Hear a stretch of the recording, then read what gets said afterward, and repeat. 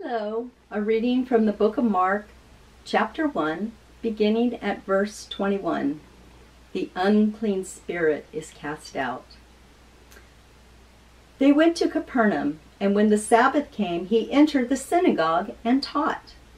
They were astounded by his teaching, and he taught them as one having authority, and not as the scribes.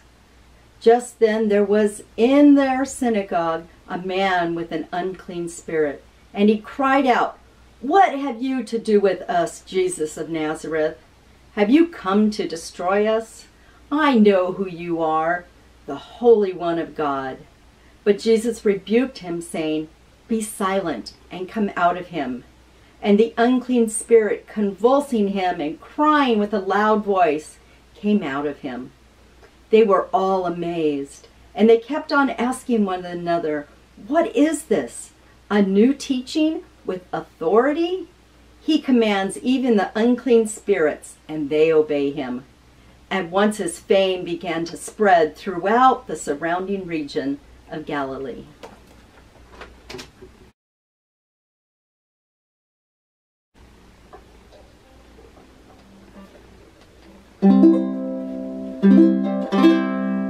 Just as I am